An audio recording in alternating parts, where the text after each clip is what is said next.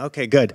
Well, uh, thanks for coming to my talk. This talk is on how to think independently, and um, hopefully, you will get to see some of the uh, presentation that I designed uh, for it. But um, yeah, we'll see what happens.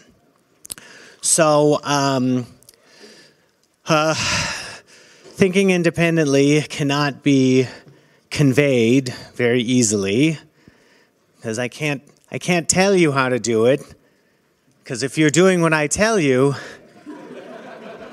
you're not thinking independently. um, but um, I've always been pretty good at it, so I have trouble engaging with other people. But thinking thinking on my own. That's uh, that I can do. So for my first slide, I had a picture of a Frank Frazetta barbarian picture, Conan the Barbarian, because I feel like a barbarian trapped in civilization. so barbarians know how to think independently because they're living by their wits. And that's what you're doing if you're in Bitcoin. So when people grow up in our society, they're not given a lot of opportunities to think independently. They're provided with models where somebody else is doing at least some of their thinking.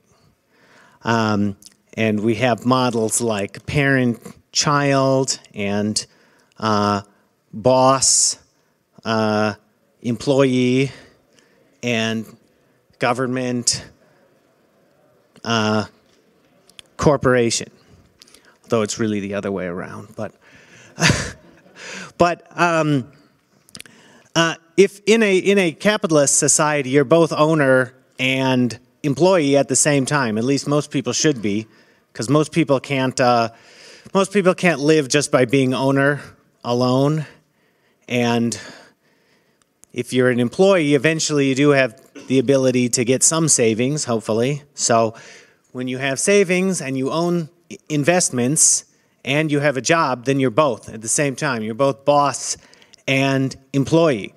But our society teaches people to be employees and it does not teach people to be in charge. Okay? So uh, let's see. So, okay, so next Next on my presentation, I had a picture of uh, Vizzini from uh, The Princess Bride, because you know he says uh, he says Plato, Aristotle, Socrates, morons. so he looks like an independent thinker because he is not intimidated by the great men in the Western canon. So uh, Turns out later in the movie, the movie shows us that he's just dumb. But as far as we knew at that point, maybe he's just pretending to be stupid. So I think that a real independent thinker, it's somewhat difficult to distinguish them from a stupid person. So I like Vizzini because he's somebody who is, uh, he could be stupid, but maybe he's just pretending at least at that point in the movie. Um, and uh, like I think that you know, like if you talk to a social justice warrior, they want to get rid of the Western canon, and then people who are traditionalists, they they want to worship everybody in the Western canon, but an independent thinker is not intimidated by the idea of just calling Plato a moron, you know. That's that's that's in between. That's that that is the that's the uh, the sweet spot. Okay, and I think that uh, there are people in Bitcoin who are trying to be too leadery around here. Uh, we can't have uh, we can't have people who are trying to be too too much like leaders. Okay, because Bitcoin is an adversarial environment. And bit, so next I had a picture of Risk, the board game. and in Risk, uh, you have to make alliances. But ultimately, you're on your own. Okay? So anybody that you make an alliance with has to be temporary. Okay? Because there's some point where you don't want the alliance anymore. You just want his money, right? So we are playing a board game. It's a highly cooperative board game because most of us are working to try to make Bitcoin more valuable, but it's not totally cooperative, is it?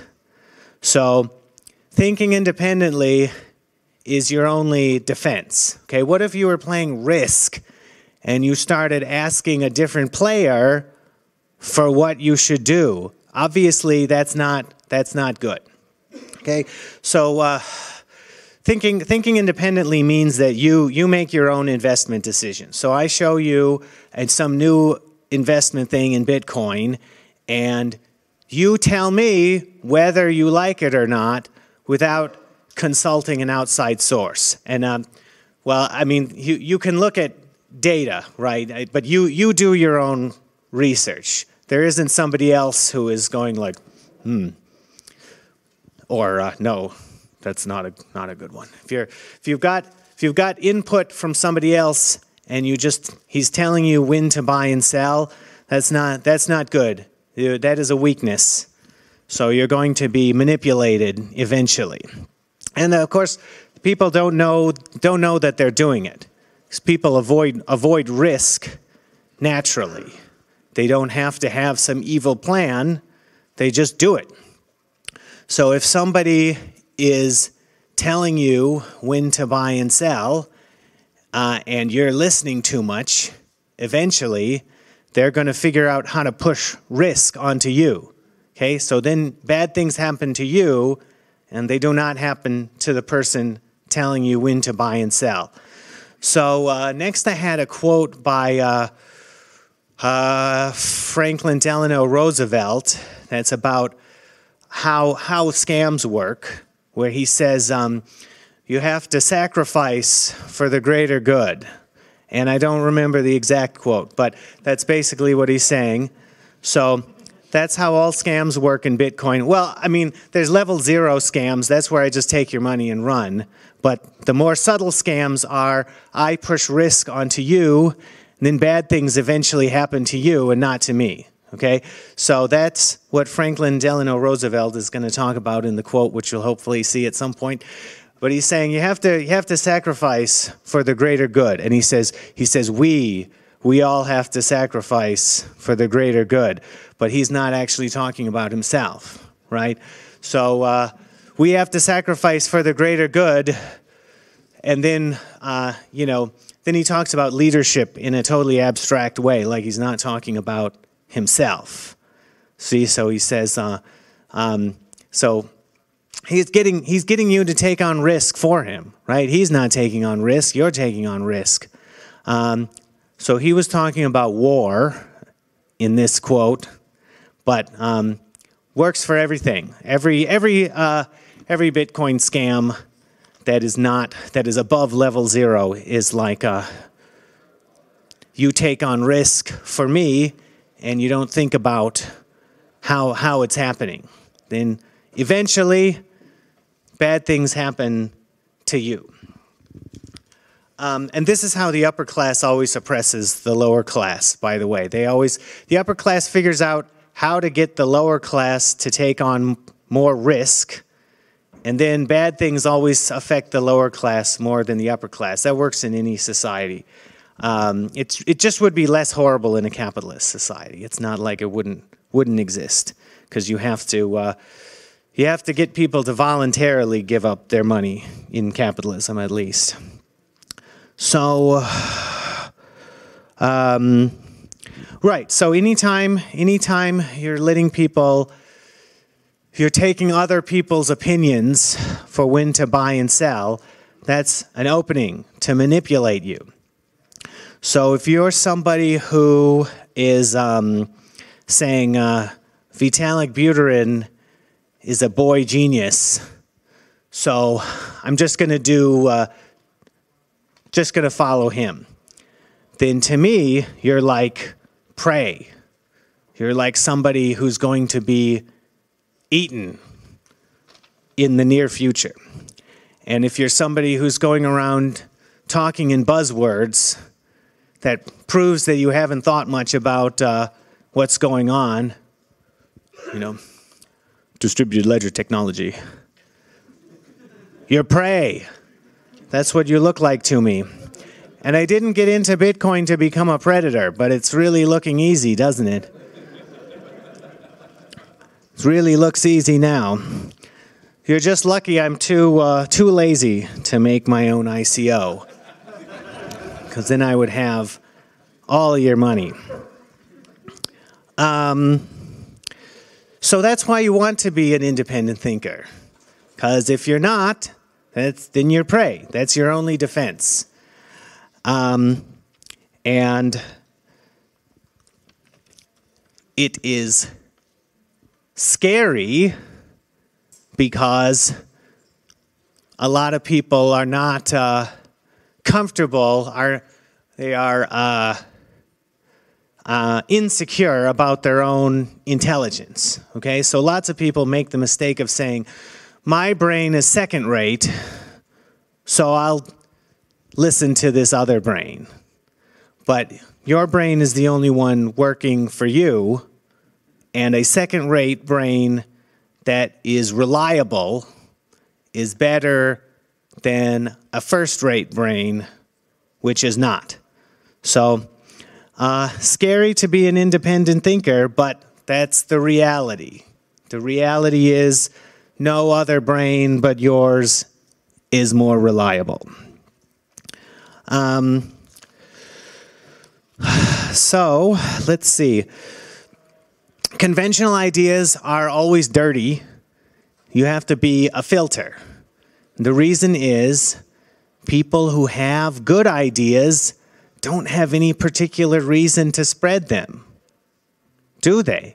Because if you have a better idea, you use that to make more money. And if you tell people, then they're playing as good as you are. You want to have an advantage. Okay? So good ideas don't spread as easily. And the ideas that do spread easily are parasites. Because they, they trick people into spreading them, don't they? They're like uh, parasitic memes. So whenever you go into any, any environment that is adversarial, like Bitcoin, the ideas are dirty. So you have to be a filter. And uh, you have to reject lots of them. No matter how uh, intelligent the people appear who are saying them. Okay? Um, dirty ideas. Um, sorry, guys. I.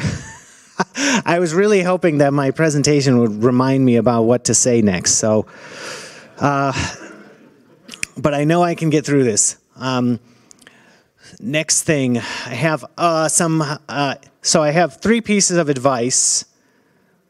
You you have to develop your own ability to think independently, but I do have three basic pieces of advice about it.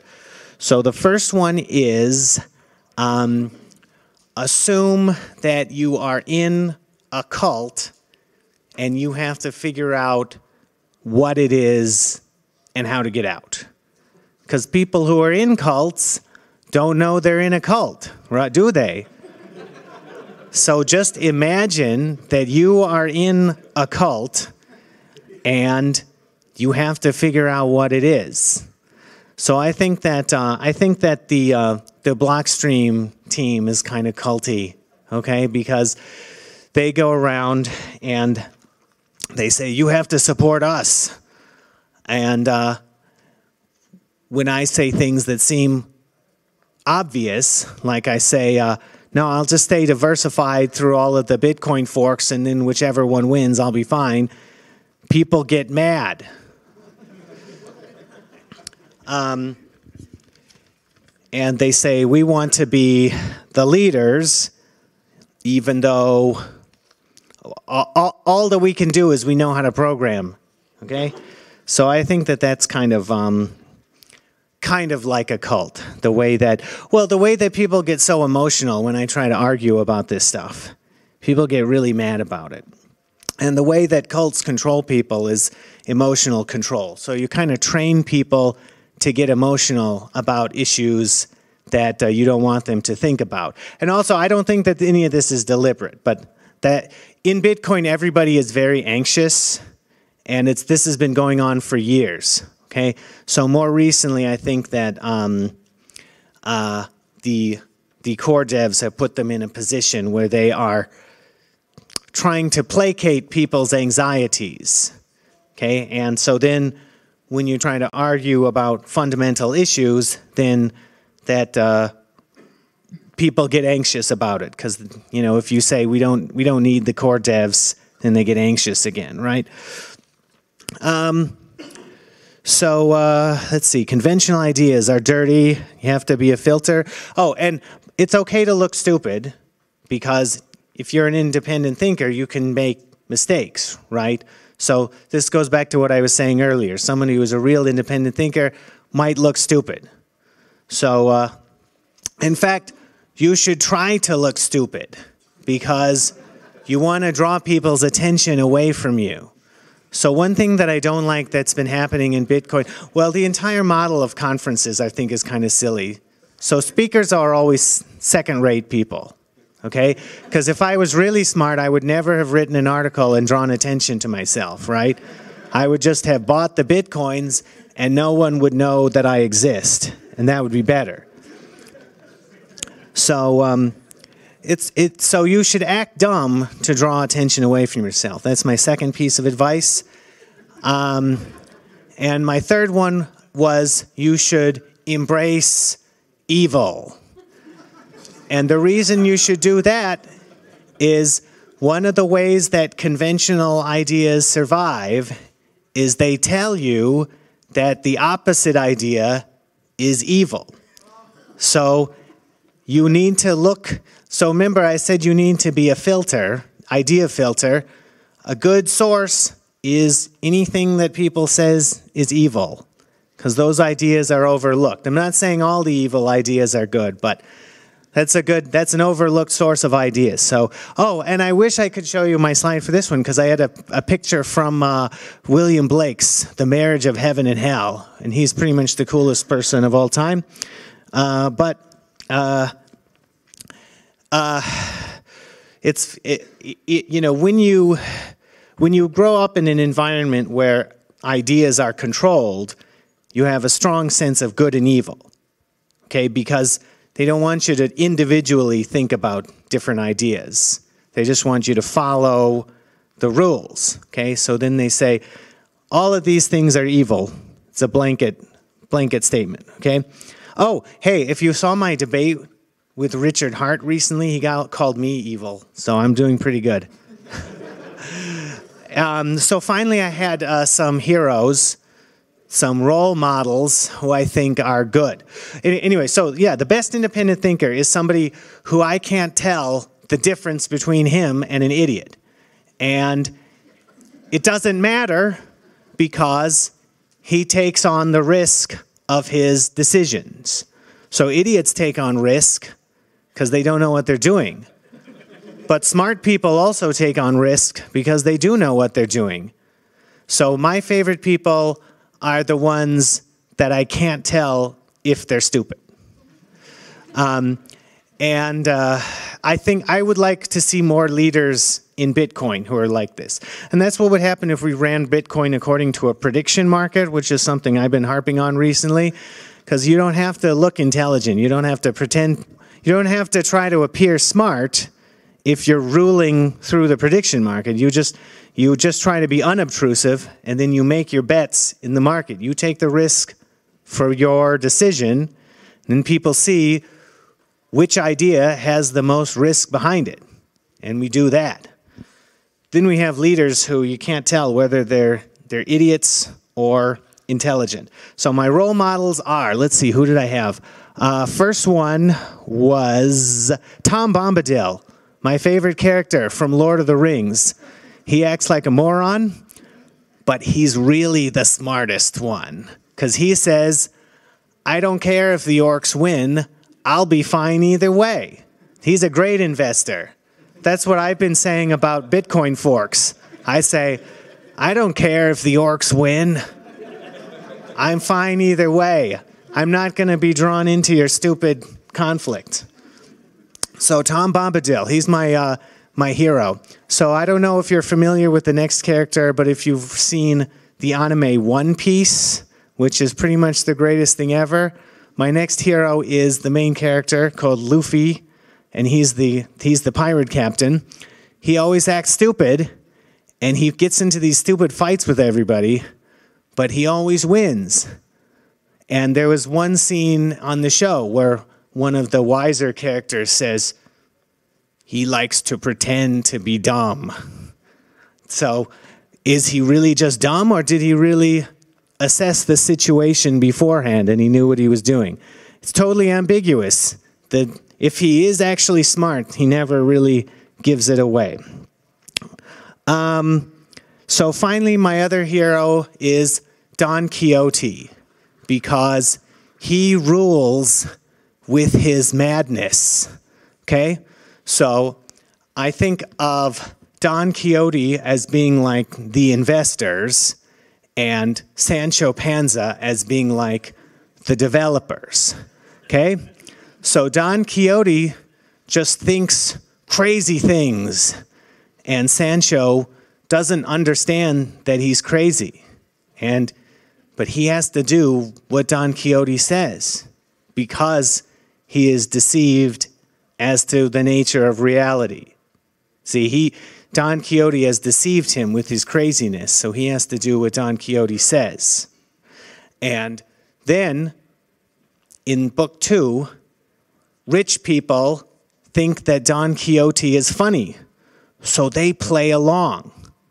Okay? So they create things based on what Don Quixote says. Okay? So, yeah, leaders, leaders in Bitcoin, they should be like Don Quixote. Are they stupid or are they geniuses? Uh, that's that's what I'm looking for. And those are what I think are you know what the real independent thinkers look like. So, uh, stop trying to be impressive, act dumb and crazy, and we don't know who the real leaders are. That's that's what I'm looking for now. And uh, did we get the talk working at all? No, okay. not at all. So, but you have five minutes for questions. Okay. Anybody?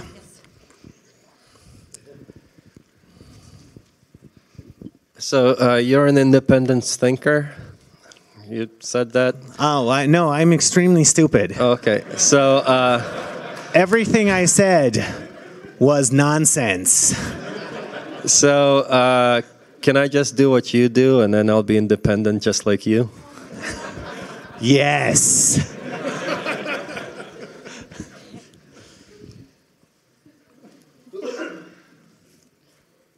Anybody else? Anybody else? Yeah. Okay. yes. Okay. So for um, people to start thinking independently and looking at different resources online, what are overall themes or places you would tell them to look at, or, or just to start learning about hard forks and stuff like that to understand like, is this good, is this bad, for them to figure that out by themselves?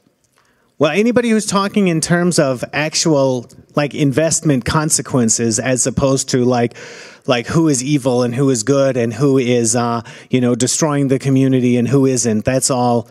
What it, you know, it's it's about people who are talking in terms of making the most money and uh, doing the best job avoiding risk. That's that's what I would look for. I don't have a specific resource for you because nobody, if somebody knows how to do things correctly, they're not going to tell you.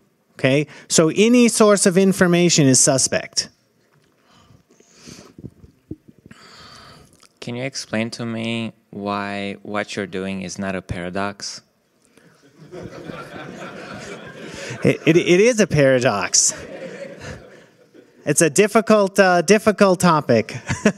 so that's why I had lots of great pictures that I wasn't able to show you because those, those can affect. Like you have to, you have to show. You can't tell, right? But somebody who's doing it the best, you can't tell who they are. Okay, so but you can you can avoid letting other people lead you too much. Okay, I think I think that that's kind of uh, a good a good start, and you can accept the reality that you're on your own, and if you don't if you don't know enough, then you can't. Uh, you can't expect other people to take care of your anxieties because if you do, they will manipulate you.